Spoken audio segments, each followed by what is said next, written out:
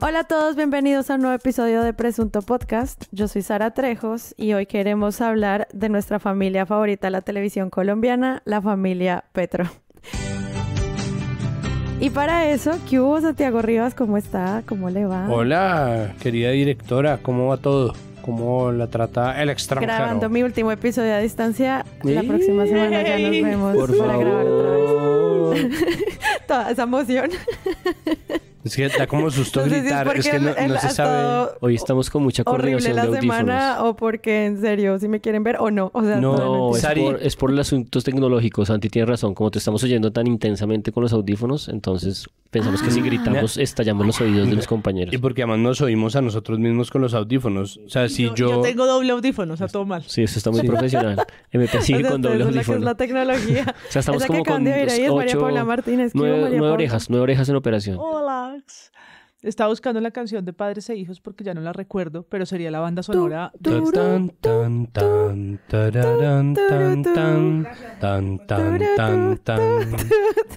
Gracias a ustedes por tararearla, porque es... Yo me acuerdo que El hubo un fondo- momento de Padres e Hijos que empezó a tener letra. ¿De porque verdad? antes era solo música y luego hubo un momento, como en la época ya en la que Gaby y Charlie tenían como 17 hijos, que hubo, hubo una parte en la que cantaban con letra y yo me la sabía, obviamente. Y la letra eran los nombres de todos. Como, como modo de vida. ¿Ah? Sí, y la, y la letra eran los nombres de todos, como Ana María, Federico, Daniela, los- Pedro y Julius. Acabo de entrar a Caracol y está capítulo 1972 de Padres e Hijos. Eso es, es Capítulo- más corto que One Piece, pero ahí va.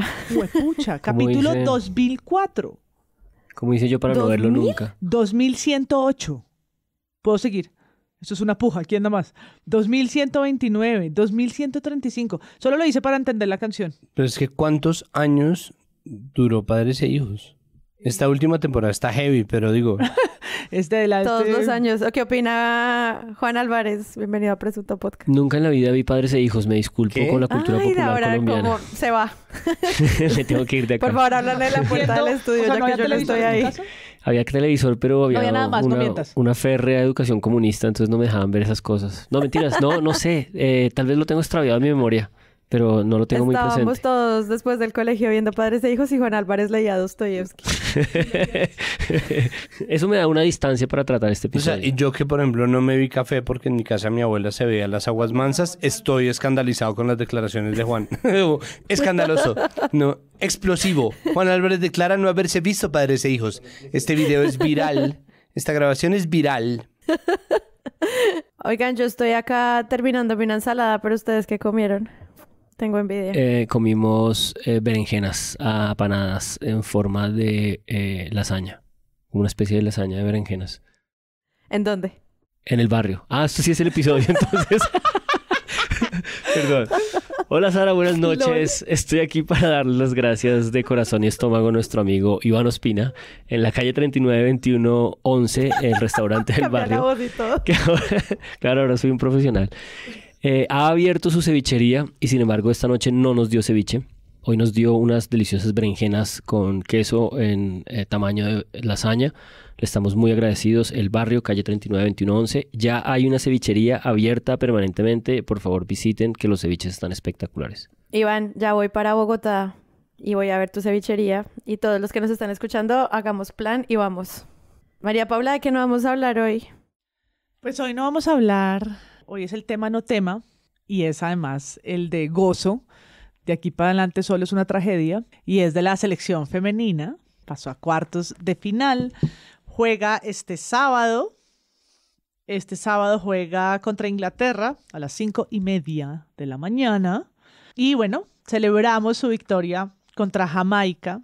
No sé qué de todo ha sido más emocionante de No, su lloradera. participación en el mundial, además de escucharlas en las declaraciones y lo que ha sido la experiencia de estar ahí en Australia y el papel que han hecho también las periodistas que lo están cubriendo con mi conflicto de interés. Digo que Mafe Franco ha sido fantástica ver cómo transmite, goza, cubre, narra, emite y hace todo desde los estadios y desde lo que ha sido el Mundial de Fútbol Femenino. Sí, está muy espectacular. En Win tienen un programa que se llama Saque Largo, es un programa que confieso que a veces veo, que es un programa como posterior a los partidos, donde se hace el comentario de partidos, y a pesar de que lo sigue conduciendo como su estrella de Win, que es el Toxi, este relator, el panel completo es de mujeres, y en estas ocasiones, al final de los partidos de la selección, son siete, ocho periodistas eh, mujeres comentando el partido y está muy, muy espectacular. Porque han llegado al punto de que se pelean y se gritan más o menos de la misma forma como se eh, gritan los analistas. Eh, entonces Muy está, espectacular está porque llegaron a la porque- violencia como los no, no, hombres. pero no se gritan como en mal plan, sino como que discuten muy intensamente las posiciones y está muy divertido. Y que esto tiene que servir para cambiar de una vez por todas ese estigma, para que el señor que lo dijo la vez pasada, que es que eso era un cultivo de lesbianas y esa manera de acercarse al- a la liga femenina se transforme. O sea, si esto no nos sirve, no aprendimos nada. Sobre todo que Yesurún deje de darles besos en la cabeza cuando las felicita. Exacto. Además que otra cosa que me ha gustado es periodistas cubriendo desde lo deportivo, lo estratégico y cómo funciona el periodismo deportivo, que tiene como todas estas capas increíbles. Y al mismo tiempo, como ya lo ha hecho Santiago en, otro episodio, en otra conversación que tuvimos, quienes están haciendo las denuncias y recordando que las cosas no siguen siendo justas y haciendo la evaluación pertinente de lo que está ocurriendo en el país. Entonces siento que se están evaluando todas las aristas y eso me encanta. Sí, pues hay un trabajo por parte de, medios de comunicación feministas que de otra manera no cubren nada de fútbol, que ha sido muy interesante, transmisiones casi en directo de manifiesta, menciones en jacarandas, en- o sea, artículos en volcánicas, o sea, una cosa que envuelve un poco un contexto más amplio y a eso se le suman unas publicaciones muy interesantes de Vorágine, con videos conducidos por Laila Bushihab, que habla precisamente sobre las condiciones, que sacaron una investigación hablando Sobre las, las condiciones en las que juegan las futbolistas profesionales en Colombia y el recuerdo, por supuesto, de todas las personas que están vetadas. Entonces ha habido como un movimiento de un sector de la prensa muy interesante en torno a eso, que creo que hace que esto desemboque en lo que desemboque es como un cuento mucho mejor contado. Creo que el papel de, de la mayoría de los medios ha sido clave y sobre todo el de la prensa independiente. Creo que eso es de celebrar. Sí, sí, sí, increíble. Santi, ¿de qué no vamos a hablar hoy? Hoy no vamos a hablar otra vez sobre el robo de Ecopetrol. que destapó el millonario robo de combustible a Ecopetrol, habló en exclusiva con Noticentro 1 CMI. Reveló cómo fueron extraídos miles de barriles de petróleo directamente del oleoducto Caño Limón Coveñas y vertidos en carrotanques en los que trasladaban el crudo a Barranquilla o a Buenaventura. De esta manera, Ecopetrol perdió más de 360 mil millones de pesos. Es un tema, mucha gente está tratando todo el cuento como si fuera una conspiración para evitar que Ecopetrol se trate el tema. Yo no lo sé, es eso no, yo no tengo pruebas de que eso sea así. Eh, obviamente es muy fácil deducir que cada cosa es una cortina de humo, pero pues en Colombia un poco eh, la noticia de hoy es una cortina de humo para tapar la de ayer y la de ayer fue una cortina de humo para tapar la de antier y pues nosotros un poco vivimos en esa dinámica y sin embargo sí sería importante como que se esclarecieran varias cosas porque hubo una guerra de versiones y una confrontación de versiones que, que me parece importante examinar, ¿no? Desde las empresas que estaban siendo juzgadas, la captura a personas, el envolvimiento o no del ELN que dijo que eran mentiras que ellos estuvieran metidos ahí en, el, en, el- en la componenda, pero que al mismo tiempo están desde hace mucho tiempo en las cifras de Ecopetrol que mide sus propias pérdidas de crudo, pero entonces las cifras que da Ecopetrol versus las cifras que arrojan otras investigaciones, el trabajo de la unidad investigativa del tiempo versus las declaraciones de, de Ecopetrol, el hecho de que hubiera mucha gente que decidiera que las declaraciones de Ecopetrol y las cifras que daban de pérdida de crudo mm, eh, anual eran suficientes para declarar como no, esto ya es- esto viene pasando desde hace rato, eh, ya Ecopetrol dijo, ¿no? Como quedan zanjadas todas las dudas y pues quedan un montón de dudas también en donde no hay aclaración suficiente sobre, pues bueno, qué es lo que realmente pasó, cuál es la dimensión de lo que pasó, quiénes realmente participaron, porque todo el mundo agarró para un lado. Unos agarraron por el lado del ELN, otros agarraron las declaraciones de Ecopetrol y otros quisieron agarrar el, el asunto de los empresarios y eso pues obviamente terminó cubierto por una nube de humo gigantesca, intencional o no, porque pues, de lo que vamos a hablar sí es el tema que tenemos que tratar, no hay otro. Si todo lo de Nicolás Petro era para hacer una cortina de humo para pagarlo de Ecopetrol. Sí, qué locura, ¿no? Juan. No, solo quería sumar a eso que efectivamente una manera como de tratar, no tratar este asunto de Ecopetrol, que creo que merece muchísimas más explicaciones. No hemos visto a uno solo de esos empresarios salir a, a responder, no hemos visto investigaciones muy profundas de estas empresas fue un poco esta idea de que eso se había denunciado hacía un año en una nota de Calderón y que era una cosa que venía ocurriendo hace mucho tiempo y que Ecopetrol ya tenía respuestas tecnológicas para intentar contestarlo. Es un poco esta idea como de como vienen robando desde hace tanto tiempo, pues eh, realmente no es una noticia y es como, por favor, un momento, 80 millones de dólares con 12 empresas en una simbiosis que no parece hablar de esta idea del gobierno corporativo de Ecopetrol, sino que tiene como muchas cosas que nos falta entender. Me parece que no, no, no valía la pena que los periodistas que lo despacharon así con la idea de que esto era una cosa ya del pasado y, no teníamos por qué escandalizarnos ahora, eh, no parece como una posición suficiente. No lo es. Yo, antes de empezar con el episodio, quisiera mencionar lo que acaba de ocurrir hace unas horas en Ecuador. El candidato presidencial Fernando Villavicencio fue asesinado durante la tarde. Lo mataron a pesar de que tenía una escolta gigante que lo acompañó a un evento en un colegio. Y pues esto obviamente mm, es un tema que hay que hablar en algún momento porque ¿qué está pasando con las amenazas del cartel de Sinaloa, esto cómo tiene que ver con un magnicidio en un país pues tan cercano a nosotros, cuáles son las implicaciones que esto tiene, los periodistas que están investigando el tema están saliendo del país, ya han pasado muchísimas cosas en torno a la libertad de prensa en Ecuador, o sea, las cosas se están poniendo muy difíciles, toda nuestra solidaridad con los periodistas ecuatorianos que están cubriendo el tema del narcotráfico en Ecuador y que por culpa de su cubrimiento tienen que salir del país y la situación está muy difícil, no sé qué va a ocurrir y cómo se va a estabilizar el camino presidencial para Ecuador, pero no importa la línea política, no se pueden asesinar a los candidatos presidenciales. Estos magnicidios afectan muchísimo las agendas y obviamente todo lo que está detrás.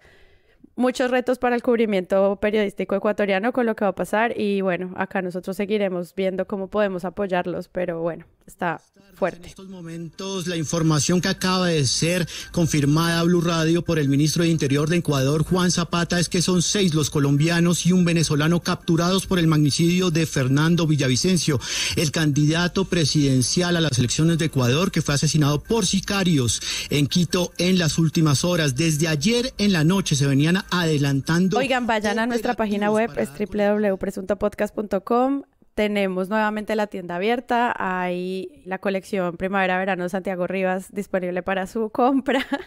Próximamente nuestra gran aliada Diosa Cervecería tendrá un relanzamiento de eh, polarización, nuestra cerveza lager maravillosa. Si quieres saber cómo la hicimos, en patreon.com hay uno, en una de las recompensas está la posibilidad de escuchar el episodio junto a Daniela Villamizar sobre cómo fue que hicimos esta cerveza juntos. Y bueno, de nuevo hay un montón de cosas que están pasando ahí en la página. Pasen, entren a Discord, síganos en Twitter, en Threads, en Instagram, en YouTube. Déjennos comentarios y participen también de las encuestas que vamos a dejar a partir de ahora en Spotify. Así que lo que hay es lugares para parchar.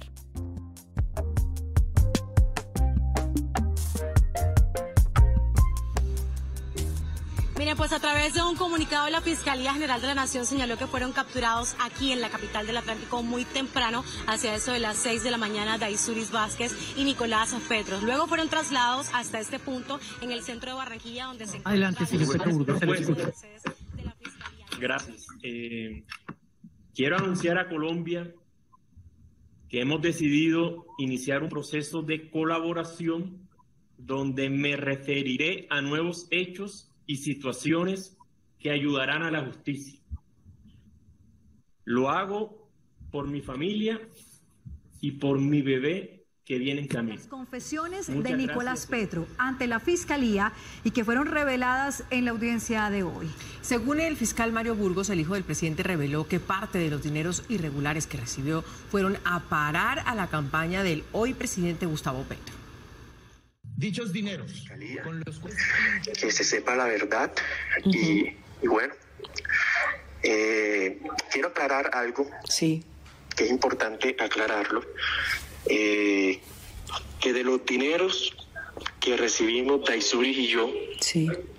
de Santander López Sierra y de Gabriel Isaca, ni mi papá, ni el gerente de la campaña, Ricardo Roa, sabían de, de, esos recursos, sabían que, que, nosotros recibíamos esos aportes y obviamente no sabían que, que, que parte de esos aportes yo lo utilizaba para, para la campaña. Es importante hacer esa aclaración.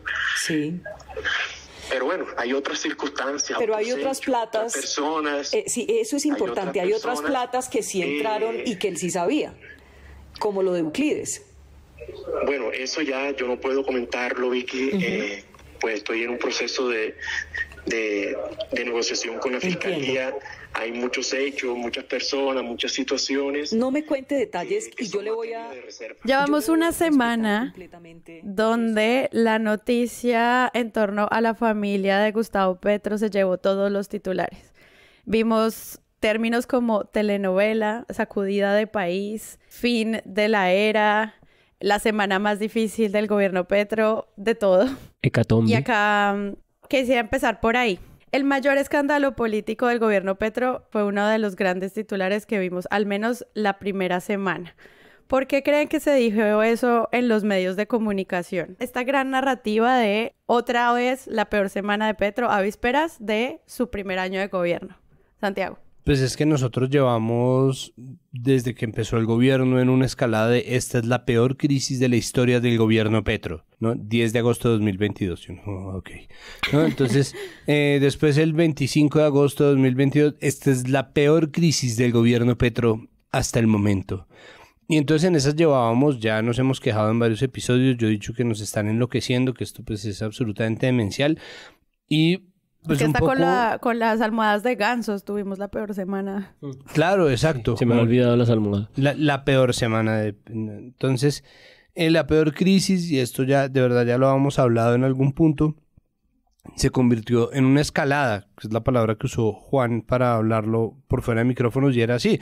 O sea, una escalada que va hacia la peor crisis, y es verdad que se ha configurado un escenario en donde cada vez hay una peor crisis, ¿no? Está entonces la salida de los ministros, y entonces está el escándalo de Laura Sarabia, después las declaraciones de Armando Benedetti, después, ¿no? Como que... Y después ese escándalo se desinfla, pero entonces aparece uno nuevo, y esta cosa, pues con Nicolás Petro es definitivamente el escándalo más grave que ha vivido, ¿no? Y la crisis más grave que ha vivido el, gobierno de Petro. Lo que pasa es que eh, esa denominación palidece frente a lo que se quisiera lograr, porque de nuevo cada noticia o cada revelación explosiva o no, veraz o no, viene acompañado de una guerra de opinión que termina mm, al mismo tiempo intensificando y desgastando todo, ¿no? Como que mucho más rápido se consume en tiempo récord toda la noticia y toda la información y todas las opiniones de la gente porque el tiempo de la opinión es mucho más rápido que el de la noticia, que es además un tiempo bastante rápido en general, ¿no? Nosotros hablábamos pues hasta qué punto estos trámites toman tiempo, ¿no? Toman mucho tiempo. Por ejemplo, quienes hemos seguido el caso Uribe, primero frente a la Corte Suprema y después frente a la Fiscalía, pues hemos tenido que ver una audiencia cada tres, meses, tres, cuatro meses. Por años. Y no, además no hay nada concluyente por parte, un, poco por la labor de la Fiscalía. Entonces, pues eso que nosotros estamos tratando de, de, codificar realmente termina metido mucho más en el terreno de la opinión donde todos somos el de Matarife, ¿no? Donde todos estamos con el hilo rojo, ¿no? Y la gente pone hilo que demuestra cómo esto es un entrampamiento. Abro hilo, uno de 50. Y es como, ay, no más. ¿No? Entonces la gente está un poco en esa labor. En general, todos estamos fungiendo de eso y mientras tanto, pues hay una serie de revelaciones y recuentos análisis mucho más certeros, mucho menos certeros y la elección de palabras sin pequeños matices es lo que termina contando porque la información que tenemos con respecto a la que se supone que deberíamos tener o a la que aspiramos a tener es muy poca. O sea, cuando yo me enteré, me enteré por medio de periodistas que están dentro del curso en el que estoy haciendo parte y alguien me dice, oye, ¿te enteraste que al hijo del presidente de tu país lo metieron a la cárcel? Así llega la noticia. Claro. Obviamente cuando se empieza a desencantar, porque como te hay un proceso en el que hay unas horas en la que la fiscalía no puede hacer la orden de captura y como que todo esto está lleno de un montón de material para que los medios cubran, pues te empiezas a dar cuenta. Pero cuando uno le llega esa información como consumidor de noticias, llega con ese escándalo. Sí, porque este universo penal, judicial, pues siempre tiene como ese impacto en titulares eh, rápidos y cómodos, ¿no? Siempre se titula a la cárcel tal persona y casi nunca se distingue si es una detención preventiva, si es una captura, cuál es la instancia. Y a propósito de esto, pues bueno, esta noticia eh, lleva más que una semana. Realmente eh, tenemos estas primeras entrevistas de Dai Vázquez eh, como en marzo fue que calculamos. Recordar, por ejemplo, que esto es como tan impactante que nos condujo a grabar hace ocho días en medio del momento de la captura de la audiencia de imputación y cuando estaban en el proceso de la medida de aseguramiento, grabamos en medio como de esa suspensión y tuvimos que cancelar el episodio porque es un poco eh, la cantidad de información y la magnitud de los, de los hechos hizo que todo lo que habíamos conversado hace una semana pues resultara mm, obsoleto muy rápidamente. Y a propósito de eso, me parece que así como el hongo de la noticia, el, el, el, tamaño de la, de la, bomba de hongo que se crea eh, alrededor de todos los hechos, pues produce todo mm, este levantamiento de polvo que confunde todo y lo hace tan difícil porque además el universo jurídico es un universo de unas minucias y de unos detalles que hacen difícil la, reportería y la precisión en la comunicación eh, de los medios al respecto. Creo que también paralelo a eso ocurrió un hecho como de una envergadura muy grande que fue muy difícil de obviar incluso para la oposición más recalcitrante y es el hecho de que inmediatamente cuando se enteró pues el presidente de la República tomó una posición pública, al menos una posición pública de una altura y de una envergadura también muy extraña y muy difícil de asimilar y de reportar, que fue esta idea de no intervenir, ¿no? Eh, esta idea de consolidar su distancia frente a este hijo mayor, el otro Nicolás, y creo que poco esa, esa posición de Petro también fue pues una cosa muy, muy tratada, muy reflexionada, incluso hasta el día de hoy sigue apareciendo y, creo que como en la fuerza de estas olas nos hemos movido y, las consecuencias de esto es un poco lo que, lo, que, lo que sigue ocurriendo y lo que estamos tratando de entender. Así como la noticia produjo esta, esta eh, digamos, eh, magnitud eh, en el cubrimiento, yo creo que también se ha dispersado mucho, es decir, hay como unas esquirlas de análisis también ya muy dispersas como hacia los abogados que están en juego, eh, hacían poner el foco también en Dai Vázquez y no solamente en Nicolás Petro. La semana pasada, en estas dos semanas, también se ha discutido lo de la terna. Es decir, creo que esta es una captura, una operación, una acción penal de la de persecución penal de la Fiscalía que, que tiene demasiadas aristas y que es bien difícil de entender en su conjunto. Sí, es que eso que dices me, me hace pensar mucho en el tema de hacerle casi que perfiles a Petro volver a hablar de él como esta persona sí, respeta las instituciones por hacerse a un lado. Sí, yo creo que esas son dos, dos narrativas grandes. Una, la fuerza de la democracia. Y entonces por ese lado hay medios que han dedicado sus notas a la legalidad de la captura, a la sanción de la CNE eh, y a explicar la, en, en, presunción todavía o lo que en los últimos días empieza a ser esclarecido. Y falta mucho, ¿no? Creo que la entrevista que hace Vicky Dávila a Nicolás Petro lo deja muy claro. Él, él, va a organizar los papeles, él va a hacer cuentas, él va a hacer sumas, restas. Buscar recibos. Busca, él va a buscar recibitos. Entonces todavía falta mucho, pero ya se hablan de unas, de unas cifras, ¿no? Se le pone una sanción por 174 millones. Todo esto, paréntesis, es mucho menor que el que, que el otro suceso que habría sido el escándalo mayor de aquella semana, que son los 3 mil millones de pesos que nunca nos terminó de contar semana de dónde habían salido ni a dónde habían dado con su historia rarísima en contra del gobierno. Pero bueno, cerrado el paréntesis como en póker, como veo tu paréntesis y le añado un... Es que, el, es que un, corchete. Entonces... dos monedas verdes. slash, slash. le, añado un corchete y dos asteriscos, dos notas al pie. Entonces, pues la cosa ahí es que están siguiendo, o sea, los escándalos guiados por semana. El problema con que Vicky Dávila y Semana sean los jefes de la oposición es que los escándalos tienen un tiempo de nuevo, eh, que es eh, muy distinto a los tiempos verdaderos de lo jurídico, a los tiempos de lo penal, a los tiempos de lo político. Mm, y generan un nuevo timing en lo político que, que termina siendo muy perjudicial incluso para ellos. Creo que con el tiempo se ha solidificado un ciclo en el cual Semana denuncia algo, ¿no? A veces son cosas estúpidas como el uso de un helicóptero por parte de Francia Márquez o el arriendo en una casa, en una urbanización para gente de plata, que pues es de verdad de las denuncias entre comillas más ridículas que, que, hemos tenido la oportunidad de ver y la gente se solivianta, ¿no? todo el mundo sale furioso a pelear, se arma una guerra de opinión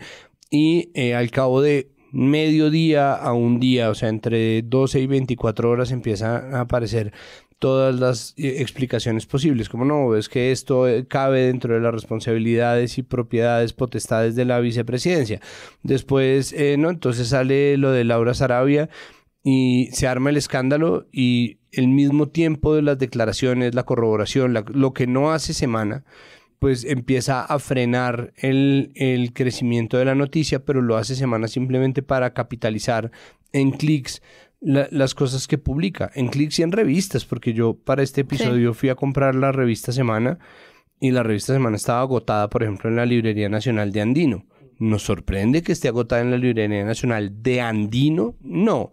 Perdón para la gente que no está en Bogotá, y no, entienda esta referencia, pero digo, es como, ¿no? El, centro comercial más pris pris, más gomelo, y, y llegó una señora como yo también a buscar la revista Semana y no estaba. O sea, eso sí lo está capitalizando de alguna manera semana. Lo que pasa es que políticamente no se puede capitalizar porque cuando sacan este tipo de revelaciones hay una serie de trinos que están bien documentados, por ejemplo, en el recuento que el tiempo hizo en su edición del domingo, en donde muestran, pues no, de nuevo la guerra de opiniones y, hay gente que muestra pantallazos y en los pantallazos sale gente diciendo como es ilegal la elección y esto es antes de las declaraciones del 4 de agosto, ¿no? Desde la captura es ilegal. Entonces ya se está formando la agenda antes de tener la noticia completa, antes de tener la revelación. Con lo de Benedetti fue igual, ¿no? Entonces Benedetti saca estos audios absolutamente enloquecidos, ¿no? Que los 15 mil millones de pesos, no sé qué. Y después Vicky los vuelve y lo sienta y lo carea y le dice ¿Quién le dio esos 15 mil millones de pesos? No, eh, Vicky, yo tengo que aclarar, ¿no? Yo tengo que, que, revisar algunas cosas y hablar ahí con una gente y es como, pero no que tenías 15 mil millones de pesos que te has conseguido, pero ¿en dónde está? No, no, es que eso, pues yo lo, lo llamé, pero yo no fui el que recibió la plata en la mano, ¿no, Vicky? Entonces eh, empieza a echar para atrás, la gente recula. ¿Va a aportar nombres de ministros en su colaboración que hicieron cosas malas? Bueno, entonces en esa orden de ideas te estaba diciendo que me cogieron de sorpresa. Sí. Yo ahora estoy esperando pues la decisión del juez. Eh, yo tengo que llegar a mi casa, ojalá, eh, sentarme, empezar a, hacer memoria. A organizar. primero salir de este show de esta semana, o sea, eh, llegar, organizar, hacer memoria, recolectar los datos, etcétera, y para entregar más información pero ese, ese es un sí. ¿Cuánta plata le recibió usted a, al hombre Malburo? Bueno, eh, precisamente con la fiscalía yo lo que le he dicho es que eh, son datos aproximados porque eh, tengo que llegar a, a Dai había hablado de 600 millones. ¿Es eso o no, más? Falso, es menos. Es menos pero usted va a hablar de él, usted va a hablar sobre él. Yo sé que usted tiene unos audios sobre él, yo lo sé. Vicky, te repito, no puedo hablar sobre personas y circunstancias porque estoy en medio de una negociación con la fiscalía. Hágame el favor. Y, y esa, esa estrategia a Vicky no parece importarle porque a ella le interesa es tener la entrevista. Con esto es igual. Entonces sale, dice, va, va a, a aportar pruebas de que entraron platas no reportadas a la campaña. Y todo el mundo, porque pues obviamente eso es un escándalo grave, gravísimo. Y Vicky empieza con el pie izquierdo a decir que además Nicolás Petro dijo que el papá sabía lo que estaba pasando.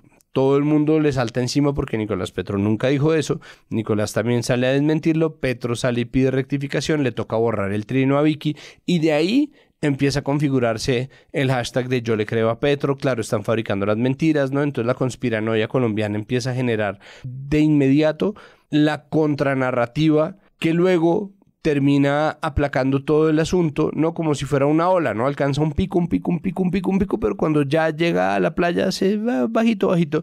Entonces llega, se encuentra con Nicolás Petro, pues o lo carea, lo entrevista Y le pregunta a él, dice, no, pues mi papá no sabía nada, Prada no sabía nada, tengo que buscar los recibos, hablar con la gente. No, un poco el mismo mecanismo de Benedetti, no, pues yo tengo que aclarar qué es lo que está pasando y eso es una locura. ¿Cuál es el sustrato de esto? Esto genera una codependencia entre el gobierno y Semana. Eso está generando una codependencia entre el gobierno y Semana porque el gobierno se ha visto fortalecido en ocasiones por cuenta del mal trabajo periodístico de Semana, ¿no? En las marchas en donde más le ha salido gente a Petro fue después del escándalo de Benedetti, cuando la gente dijo, pues no, yo no le creo a Vicky, le creo a Semana. Entonces el gobierno va a empezar a necesitar también del escándalo para mantenerse vigente. El problema es qué tanto de eso va a terminar mellando en la gobernabilidad real, porque finalmente las cifras de gestión no por mucho que se mantenga el gobierno a flote y vigente, por mucho que la fe de la gente se mantenga viva de cara a las regionales o a las presidenciales de 2026, pues se le está haciendo un daño al país porque se está abriendo un boquete en la gestión. Yo creo que sí es evidente y se va a comprobar con cifras muy pronto, y Vicky escribirá el trino, de la audiencia que está ganando semana a cuenta de este tipo de historias, esta y las que nombramos publicaron en los últimos meses que tienen que ver directamente con el gobierno de Petro. Ese protagonismo de semana es tan evidente que incluso hicieron una autonota sobre eso. Es decir, hacen, una hacen, un artículo que dice que el Washington Post informó sobre la captura de Nicolás Petro y menciona a Semana como la fuente de información que desató todo el escándalo. Es Semana haciendo un título en tercera persona sobre Semana, es raro. Pues es, una vez más todos trabajando para semana. Y entonces Vicky lo va a tuitear y luego lo retuitea. O sea, es como una cosa muy, muy loca. La otra narrativa... Ya no me sorprende la autorretuiteada interna de semana, la verdad. No, y pues esta es como la, el autotitular. Bueno, en fin. La otra narrativa, y por eso arrancaba yo con Padres e Hijos, tiene que ver es con la construcción de una tragedia familiar.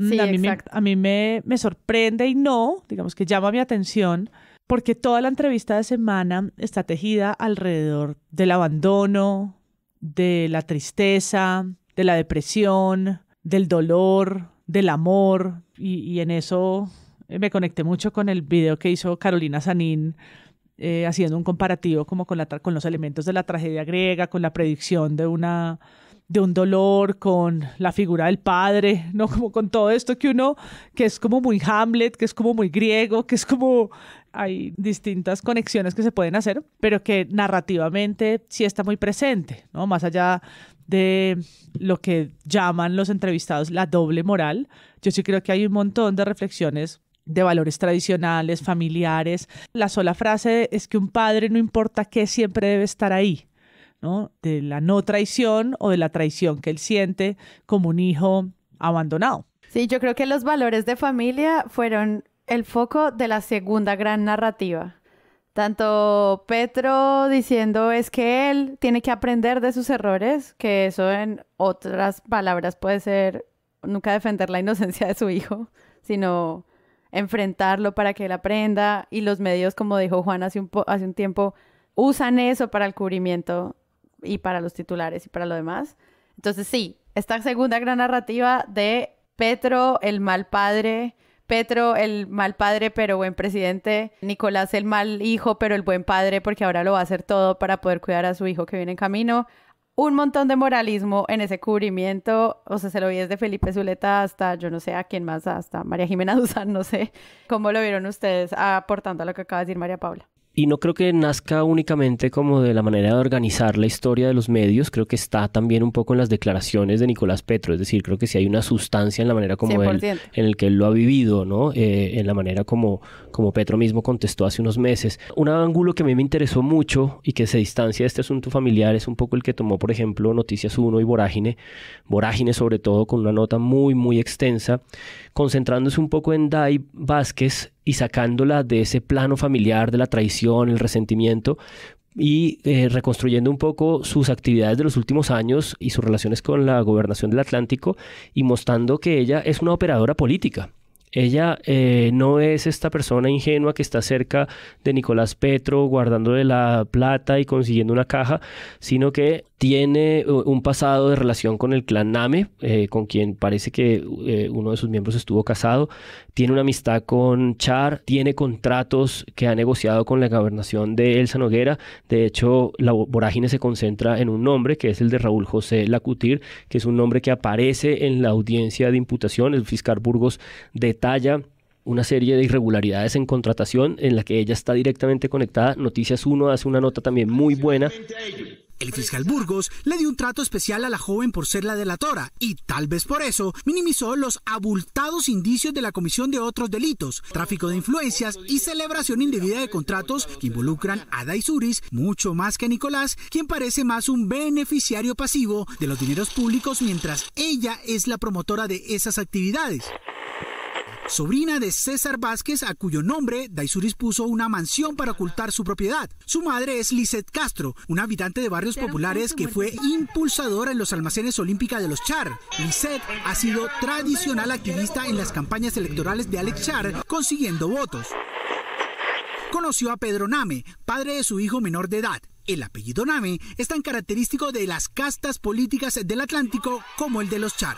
Pedro Name es pariente cercano de Iván Name, actual presidente del Congreso, y del senador José David Name de la U y expresidente de esa misma corporación.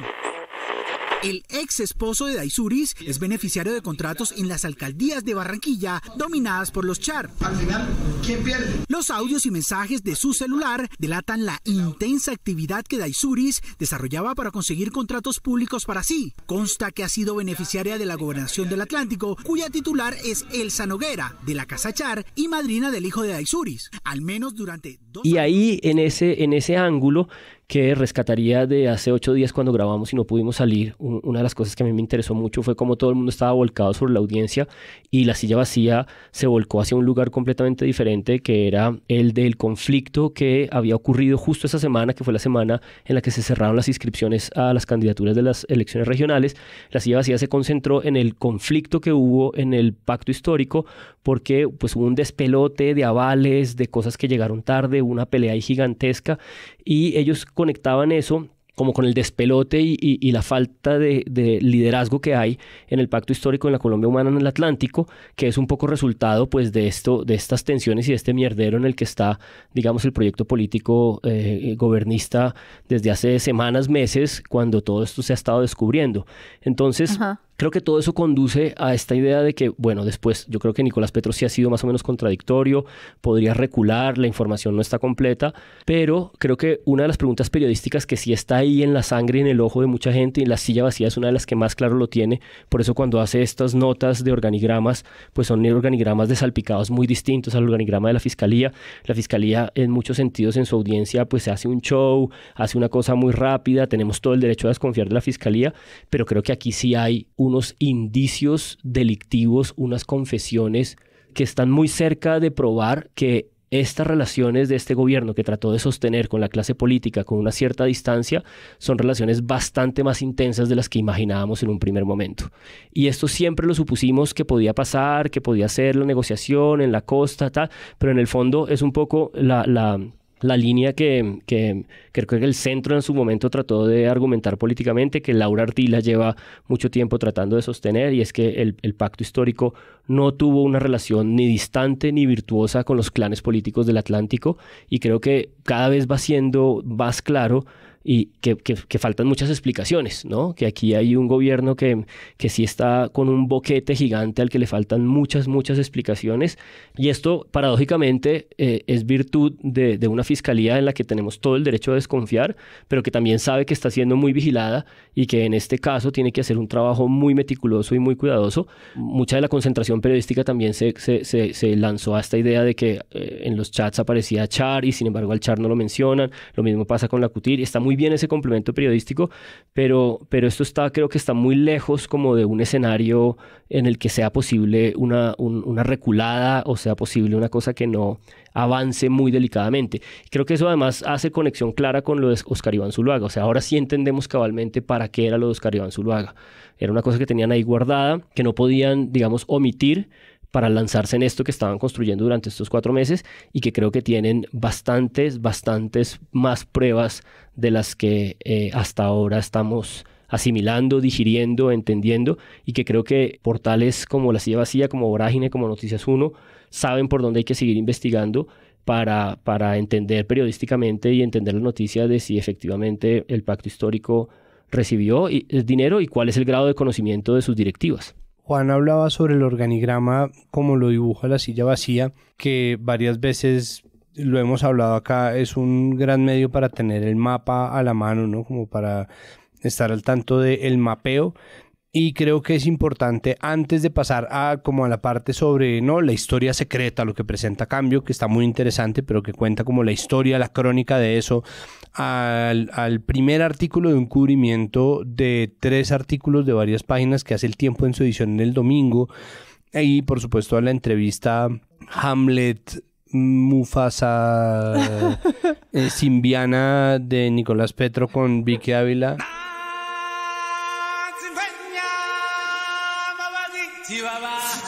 Ahora sí, aquí se armó.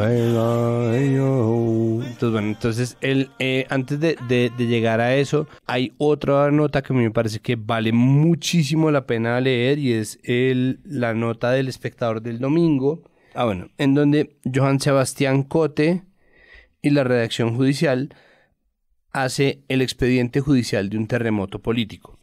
¿Por qué me parece importante? Porque hacen una enumeración clara de los cargos y hacen el uso más riguroso de todos los presuntos y supuestos eh, que existen en este entramado, ¿no? Como contraposición les pongo la columna que salió en semana del fin de semana de Luis Carlos Vélez, en donde utiliza un poco de palabras que no tienen ningún sentido, en vez de decir presunta dice potencial, o sea, está configurado, no, Wittgenstein bien dijo que uno eh, eh, habla como, como piensa. Sí, pues que él habló, acuérdate que no habló de la verdad, sino la verdad de vida. Sí, pues es que el... Potencial, potencial crimen. Sí, es que la potencial entrada de plata a la campaña es como, como así estamos hablando de una campaña futura.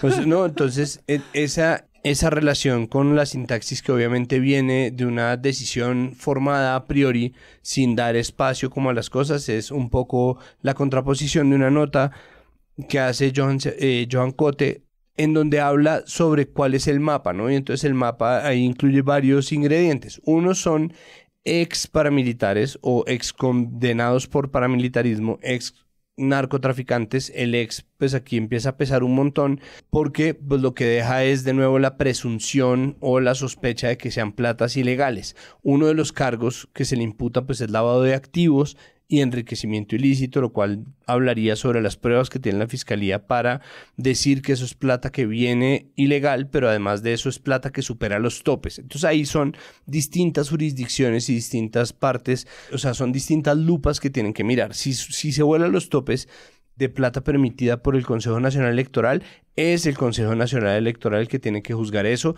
y esa plata puede ser legal, que si es un exceso sigue siendo un rompimiento de la ley y eso es peligroso y eso incluso, si no estoy mal, le puede dar cárcel al director de la campaña, por ejemplo. Que eso antes era solo una multa y ahora ya es un delito.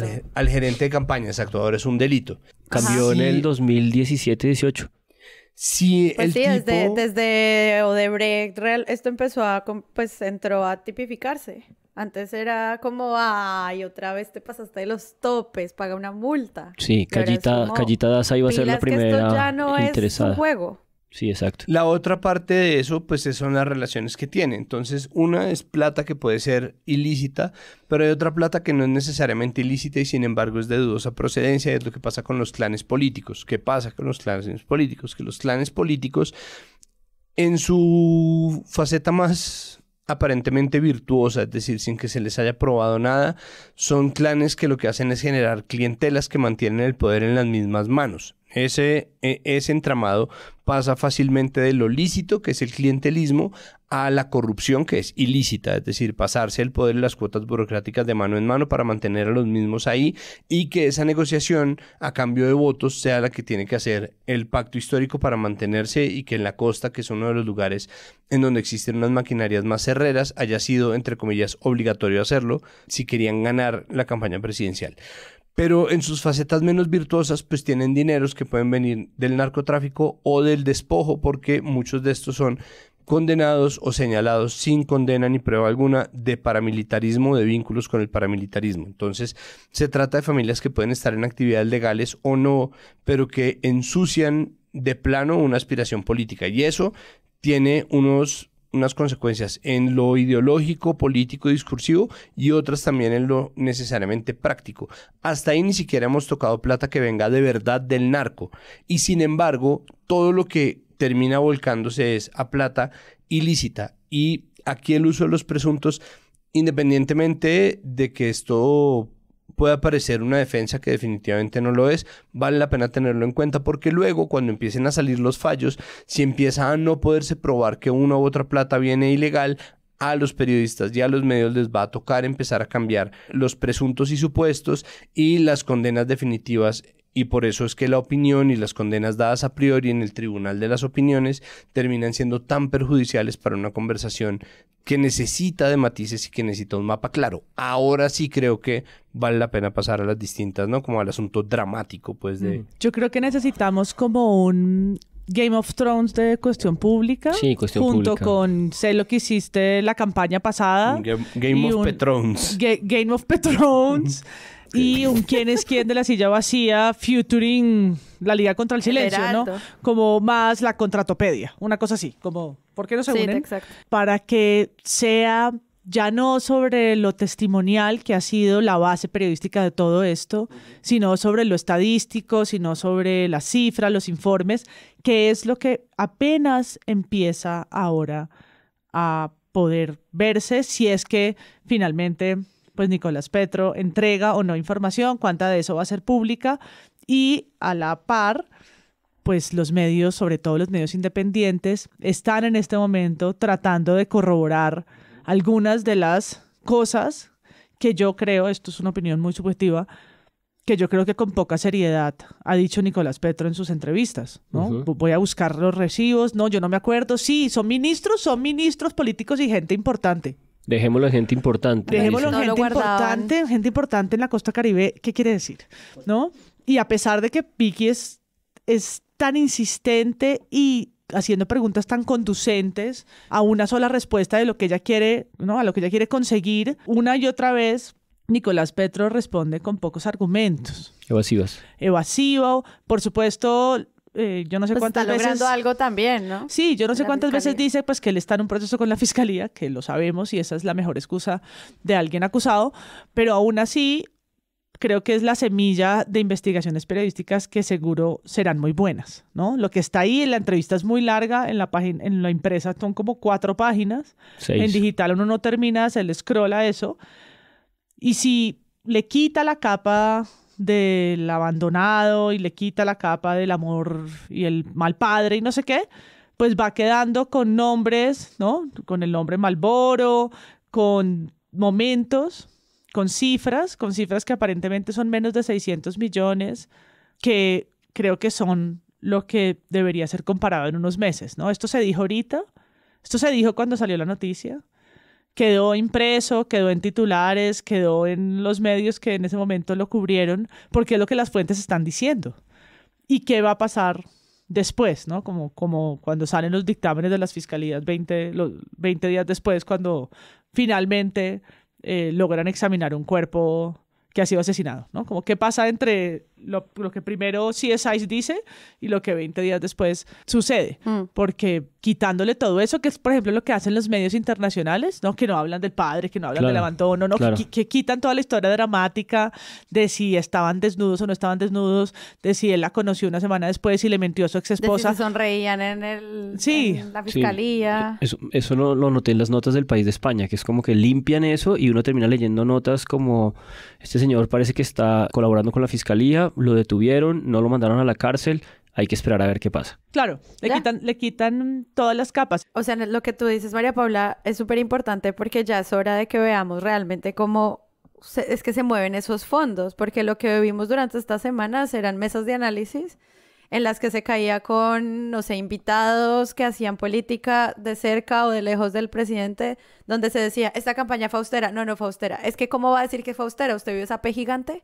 no, es que eso fue muy caro, ¿no? Pero es que cuántos testigos electorales, pero es que eso cuesta. Es como, no toda la plata que podría haber entrado no legalmente podría financiar una campaña de ese tamaño. Al caer en lugares de opinión, es muy fácil también caer en lugares de desinformación si no se sabe realmente qué pasa con esos montos y realmente cuánta plata se mueve dentro de una campaña política en relación a lo que se reporta o no. O sea, siento que eso que tú dices de como este llamado a por fin hablar los números como son, nos va a poder como dar una luz de lo que eso significa. Ya sea que Petro sabe o no, si es una conversación sobre el lugar de Ricardo Roa como jefe de campaña y su lugar en Ecopetrol, retomando nuestro tema no tema, y todo eso siento que va a pasar y yo lo he visto como en los medios armándose despacio porque la primera semana del super escándalo, la opinionitis nos hizo como incluso a nosotros retroceder porque no entendíamos hacia dónde iban esas historias, ¿no? Pero creo que también es el, el lugar que tiene la duda como recurso periodístico. ¿sí? La duda sobre lo que Nicolás Petro está diciendo y los cálculos políticos, los réditos que eso tiene para él, la duda frente a lo que un medio puede publicar, ¿no? Y está bien echar para atrás, está bien esperar, ¿no? Está bien no, no publicarlo tan rápido porque estamos ante un terreno de desinformación, de, de testimonios que se están jugando 30, años en la cárcel, 10, 20, 50, ¿no? Y, y que al final el periodismo debería mirar con mucha perspicacia. Claro, y la gente ya estaba hablando de pedir la renuncia al presidente. O sea, es que esa pausa no ocurrió. Claro, a esa duda yo le sumaría la duda más delicada de todas, y es que la fiscalía es un aparato de persecución que está completamente en entredicho. A propósito de eso, la columna de Cecilia Orozco del 8 de agosto que se llama Fiscalía y Semana, una bomba de tiempo, donde hace una reconstrucción de esta simbiosis, llama ella, de cómo nos han tenido en el último año con un escándalo detrás de otro y con una relación de entrega de estas noticias crudas de un lado y del otro. Eh, recordar que en su momento cuando, cuando se estaba investigando después del allanamiento de la Fiscalía a la Presidencia cuál era la oficina en donde se había hecho el, el duplicado espejo del teléfono de una de las eh, personas del servicio de Laura eh, Sarabia. Sarabia, supimos que este coronel de inteligencia que se suicidó tuvo un refirrafe con la fiscalía en un allanamiento porque justamente pidió que no entrara un periodista de semana que la fiscalía quería entrar. Es decir, es un grado de trabajo eh, de velocidad y de, y de politización de la Fiscalía de Barbosa que produce una, una afortunada desconfianza de parte de muchos medios y, de parte también de una parte de la opinión pública. Eh, y eso también es pues muy, muy, muy lamentable y muy peligroso, ¿no? Que por ejemplo, eh, frente al dictamen de medicina legal de ese suicidio hubiera habido como tanta atención, tanto cuidado.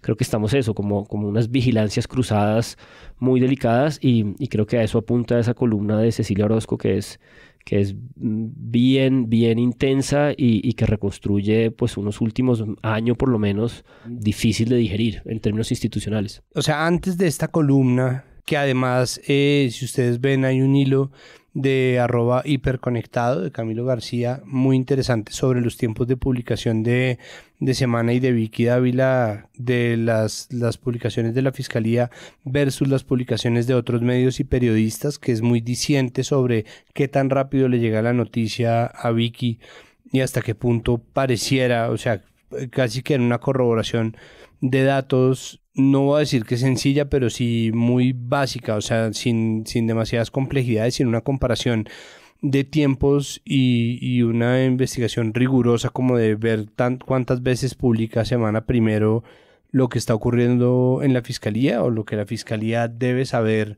de primera mano. Es, es notorio hasta qué punto eso sí es así lo que pasa con Cecilia Orozco viene de antes, nos han pedido muchas veces por redes que hablemos sobre el papel que ha cumplido porque así como se ve a, Vicky Dávila como una antagonista autoproclamada del gobierno que está ¿no? atacando constantemente, entonces que lo que hace es hacer persecución y bla, bla, bla se observa a, Gloria Cecilia como una defensora acérrima del gobierno por una serie de trinos y columnas.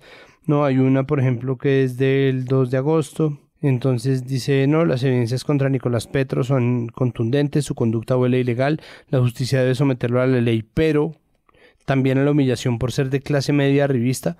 Barbosa investigaría a los hijos de Uribe con igual exposición.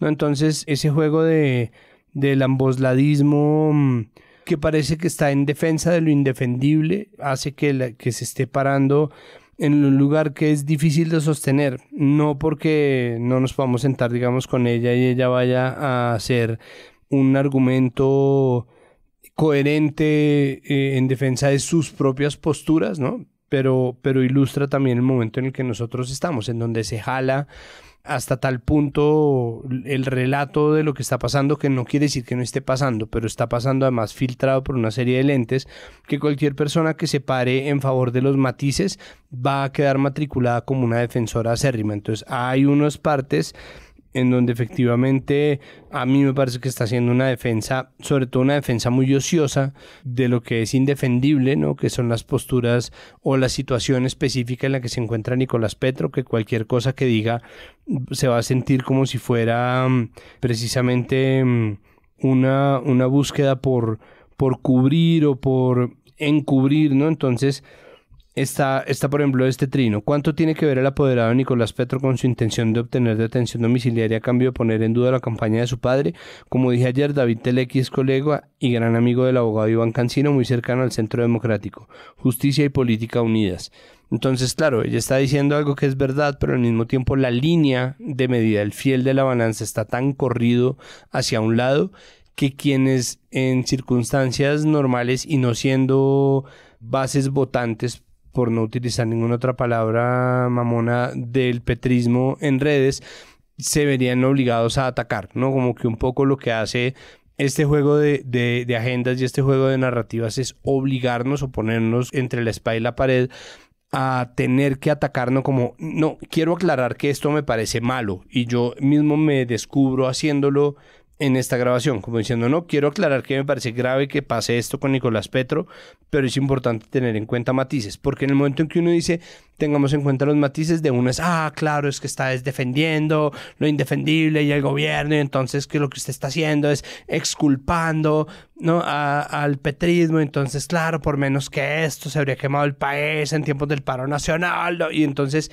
ese, ese cuento es lo que pone a, a Cecilia Orozco un poco en el lado de una defensa que a veces sí pareciera gratuita algo que es indefendible, pero que al mismo tiempo puede ser perfectamente argumentada y articulada. Tal vez no sea el momento, tal vez el tiempo que escoge para hacerlo, pues obviamente la posiciona también y la deja como muy al descubierto en lo que a ella le parece importante, tal vez lo está haciendo en respuesta precisamente a un cuerpo mediático en general y a un cuerpo de discurso y de conversación política en donde ella siente que se requiere de un contraste. Eso es un poco lo que yo estoy detectando, pero obviamente poner sospechas sobre lo que es un trámite judicial contra alguien a quien ya se declaró el malo, incluso por parte de mucha gente que está en favor del gobierno, pues obviamente la pone en una situación de argumentación muy vulnerable, ¿no? Y muy difícil de sostener frente al el escándalo general. Yo leyendo sus posiciones y sus columnas, creo que dice cosas que son verdad y sostiene posiciones que son perfectamente sostenibles, pero que en medio de eso sí, obviamente adoptó una defensa del gobierno que a veces pareciera ociosa, pero que puede argumentarse desde un punto pues, de contraste, opinión, o simplemente esta es mi posición, o esto es lo que yo dudo, que también pues obviamente es eh, su lugar, pues. Que es un lugar que vi en muchos medios que tenía que ver con esa comparación no solamente de lo de ella, sino de entonces cómo estarían respondiendo a un escándalo similar si fuera otro presidente. ¿O qué estaría haciendo Petro si él fuera senador y estuviera enfrentando a un presidente que está pasando por algo similar? Como que esas eran las mesas de análisis. Y creo que era un punto que se repetía constantemente y que hacía parte también de como esa búsqueda de coherencia política del centro que es como nosotros que estamos en el centro y opinamos en programas de radio, decimos, esto se lo hemos pedido a todos, lo vamos a seguir pidiendo. Yo no estoy diciendo que eso esté mal, solo digo que era parte de la cobertura narrativa que le da línea también al ciudadano que está escuchando y tomando también postura al respecto de lo que está ocurriendo. Y pues que al final eh, se cierra con un 7 de agosto en el que obviamente terminamos con una semana en la que solo se habla de Nicolás Petro y luego cuatro días de silencio, porque ya pues no pasó nada más. O sea, después de lo de Vicky, lo que ustedes dicen, estos son procesos súper largos, hay que esperar qué pasa, a ver qué van a decir, cómo se van a llevar a cabo las casas por cárcel, cómo es que a todos ellos los van a terminar pues creando realmente el organigrama que la fiscalía quería armar, nombrando a los que sí son, a los que no son. Eso obviamente los medios van a seguirle haciendo seguimiento. La gran historia sobre Petro va a tener que defenderse durante un montón de años también se cayó. Todo surgió y se fue bajando con una historia en torno a el año del presidente. Hoy no lo vamos, no lo hablamos a profundidad, pero casi todo, al menos de lo que yo vi y escuché, tenía que ver con estos fueron los logros, retos de Petro, a pesar de el escándalo de su hijo. O sea, como que tenía siempre igual esa historia insertada. Sí. Eh, cerremos con eso. No sé cómo lo vieron ustedes eh, Santiago creo que también hizo todo un especial en el lunes. Todos los medios hicieron un especial del año de Petro porque, recuérdense, año de aprendizaje. Pasó algo así con los medios solo para que cerremos por ahí y luego le demos el tiempo que necesita para esto la gestión del presidente. Yo lo ampliaría un poco porque creo que son como estas esquirlas, estas eh, otro tipo de reacciones que están ahí en juego. Creo que lo de la terna de fiscal es muy claro que él se anticipa, intenta anticiparse como para dejar establecida esa terna y que no hubiese más discusión acerca de la legitimidad de que él la presente o no. Y creo que esa, esa conversación sobre la terna va, va a continuar, así haya aparecido temprano. Eh, siento que si uno parte un poco del editorial del espectador de hoy, de los huevos revueltos, donde entrevistan a Juanita Gubertus, que no es exactamente una gobernista, hay como un, un cierto consenso, digamos, en un universo amplio por fuera de la oposición más recalcitrante citrante de que la terna es, es bien, bien particular, bien ejemplar. De ese eh, conjunto, digamos, de, medios, eh, también destacaría que en a fondo de María Jimena Duzán le hicieron todo un episodio la semana pasada a una de las tres candidatas, que es Cerón, eh, porque sí es una fiscal que igual estuvo involucrada en la administración de Néstor Humberto Martínez con el caso de Brecht y pues hay gente que considera que, que ella hizo parte de ese entramado que eh, desaceleró las investigaciones de Odebrecht. Creo que otro ángulo que está ahí, que va a continuar fuertemente en este, en este momento de, de, de bisagra, de inicio del nuevo año, de balance, de inicio de nueva legislatura, pues es este problema de la gobernabilidad. Creo que no hemos, no hemos tocado mucho pues las columnas y todo lo que se escribió sobre el lugar en el que queda el, el gobierno y su coalición en el Congreso. Eh, se han perdido muchas mesas directivas de distintas comisiones, se perdió aparentemente el pulso de la presidencia del Senado eh, y sí es un gobierno infinitamente más débil de lo que calculó que iba a llegar a su segundo año. Y los balances de año, pues sí, un poco, un poco opacados. Me interesaron las notas que sacó Economía para la People con la silla vacía sobre el manejo macroeconómico, que creo que, insisto, alguna vez lo tocamos aquí en episodios anteriores, era como la sombra que le habían proyectado al gobierno, ¿no? que económicamente todo iba a salir mal y, las eh, realidades eh, numéricas de cifras eh, parecen estar diciendo otra cosa pero al mismo en ese balance de año pues hay todo un, ejercicio ministerial de poca ejecución y de muy poca comunicación, de, muy de mucha mediocridad en la gestión, que creo que es como lo que va marcando esos derroteros de balance, que creo que esta semana y quizás la próxima eh, de pronto se van a digerir con un poco más de claridad después de todo el ruido disipado de, de la hecatombe con mi camiseta de politóloga creo que la gobernabilidad, la estabilidad, la legitimidad del gobierno es lo que ahora se va a jugar en el relato de los medios. ¿Qué tanto va a tener que pasar defendiéndose? Eso ya lo vivimos en la alcaldía de Petro también. Cómo eso va a afectar, por supuesto, esta nueva legislatura y las reformas y el nuevo ¿no? camino que emprenden los proyectos de ley cuando decimos acabado el primer año de gobierno, no es el de aprendizaje, pero sí es el primer año donde la relación entre ese legislativo y el gobierno nacional está más dada por cómo quedaron las sillas en, el, en la elección, ¿no? Se habla de una suerte de romance en el primer año que empieza a desconfigurarse para este periodo, que suele ser más difícil, más duro en términos eh, de tensión. El, asunto con el balance es que tiene que hacerse un balance que también tome en cuenta los escándalos, ¿no? Como que lastimosamente los escándalos se han hecho una parte fundamental de cualquier lectura que se haga del gobierno Petro y hay un punto en el cual es imposible saber qué tanto de esto es fabricado a medida y qué tanto de esto es, ¿no? Como que ya de verdad hay un punto en el que la conversación está tan subida de tono y está tan salida y tan separada de los hechos mismos, de los hechos concretos, de la verdad jurídica, de, la verdad verdad e incluso de la verdad de vida, como dice Luis Carlos, que es imposible tener verdadera certeza de las cosas que ocurren, en cambio sí tenemos una certeza de las cosas que se han dicho, ¿no? Como empezamos con escándalos que eran escandalitos y terminamos con escándalos que son verdaderamente escándalos, que son indefendibles, que son impresentables, pero en los cuales se está tratando de contar desde un escalón más arriba de lo que realmente está pasando y eso termina generando de nuevo esta relación de codependencia entre un gobierno que necesita ser parte de la agenda y la agenda que consigue, ¿no? Una agenda plagada de escándalos y de señalamientos, de rumores, de chismes y por supuesto de muchas investigaciones que caben dentro de la categoría de control político, pero que al mismo tiempo están eh, haciéndole un daño gigantesco al periodismo y que están generando una dinámica al interior de los medios y entre los medios y el público que también termina siendo muy dañina. Entonces cualquier balance que se haga del gobierno Petro, pues hemos, yo he querido pasarlo por un filtro primero concienzudo, es decir, hacerlo con rigurosidad y casi con intensidad la, la posibilidad de, de, ver cada una de las partes en las cuales ha fallado o ha tenido éxito el gobierno de Petro y por eso decidí hacer un especial largo, pero al mismo tiempo es difícil no tener, no, no, no estar enfrentando esto. Al tiempo, no, digo que hay gente que en, mi posición no salva que hacemos eh, periodismo de análisis y de opinión que no necesitan necesariamente de una unidad investigativa, que no tienen ni gente, ni tiempo, ni presupuesto para hacer investigaciones que otros medios sí van a tener que pasar.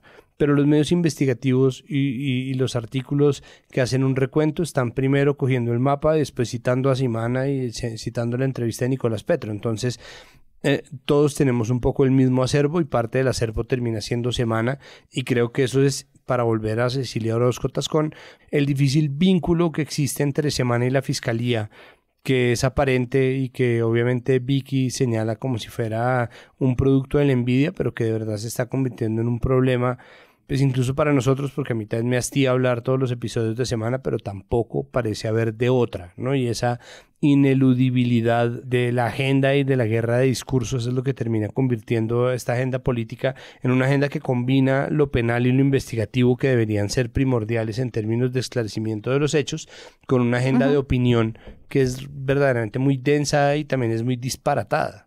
Sí, y solo para cerrar ahí, como que todo esto que nos lleva a repetir constantemente los mismos medios y su impacto demuestra la importancia de la comunicación que tenemos en la sociedad. O sea, sí, los periodistas sí pueden poner el dedo donde les interesa, sí pueden marcar agendas, sí pueden hacer que procesos judiciales se muevan. O sea, todo el impacto de semana en este gobierno es absolutamente Palmario. Innegable.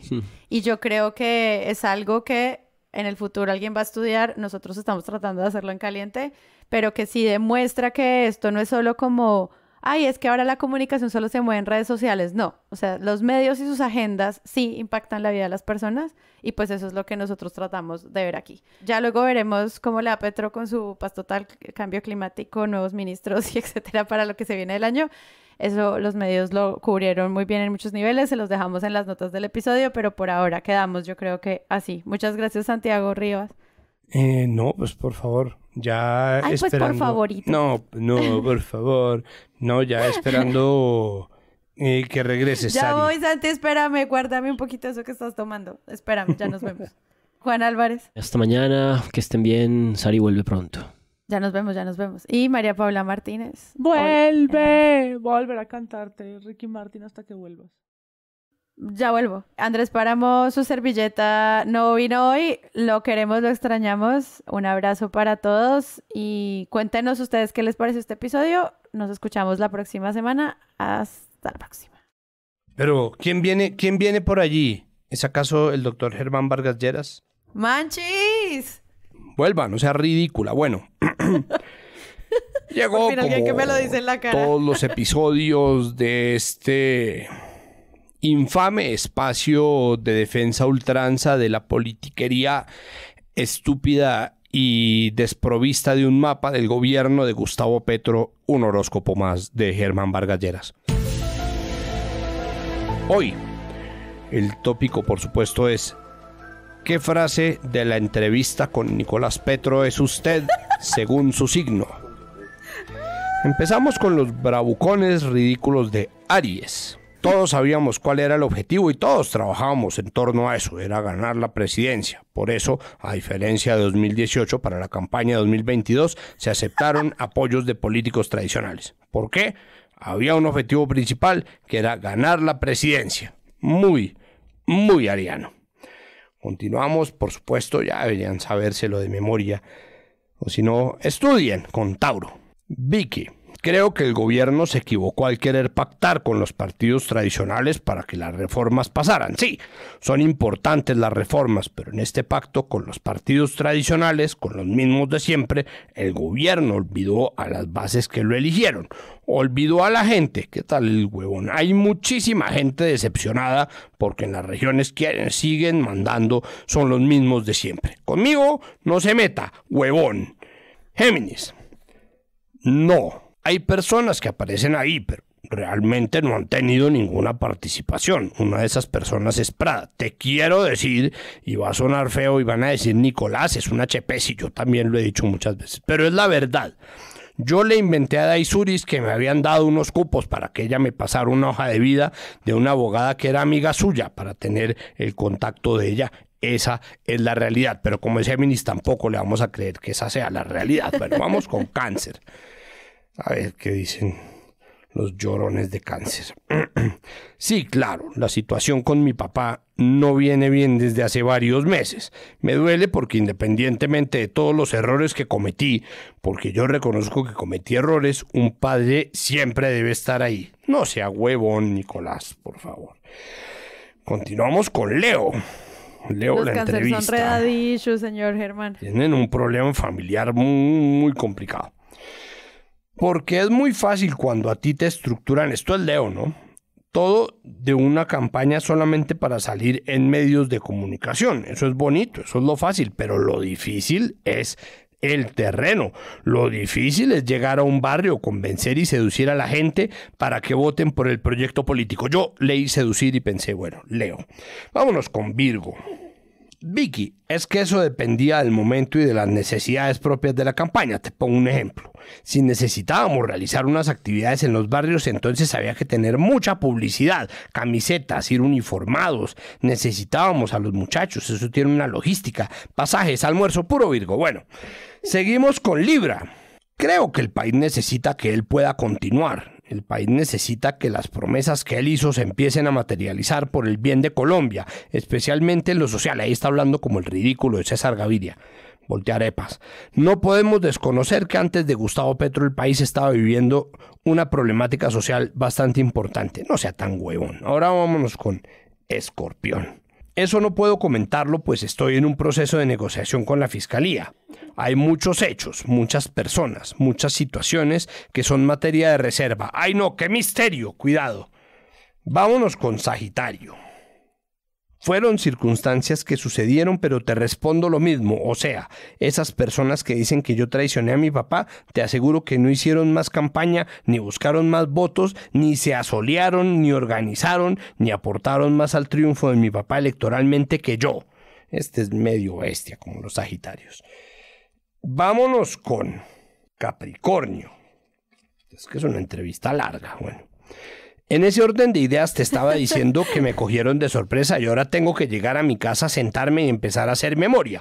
Primero, salir del shock de esta semana, o sea, llegar, organizar, hacer memoria, recolectar los datos y así entregar más información a la fiscalía. ¿Cuáles datos? Si todo estaba regado en chats. Nos vamos con la gente de Acuario. Los acuarianos tiene que ser como la más extraterrestre de todas las declaraciones de Nicolás Petro.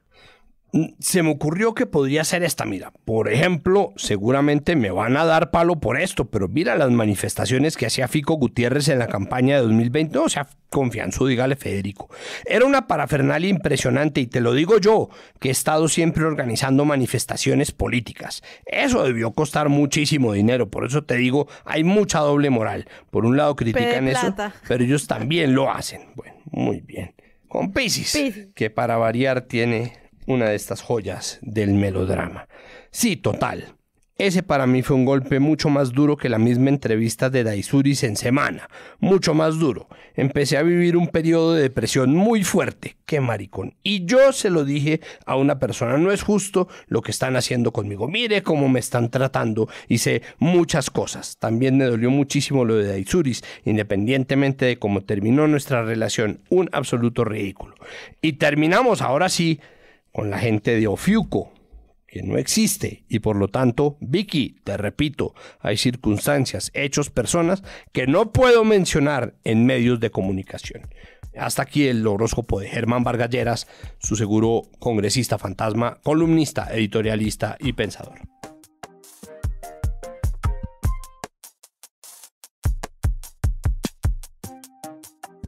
Si les gustó este episodio y quieren apoyar este podcast, los invitamos a que lo compartan en todas sus redes sociales. Esa es la mejor manera de crecer.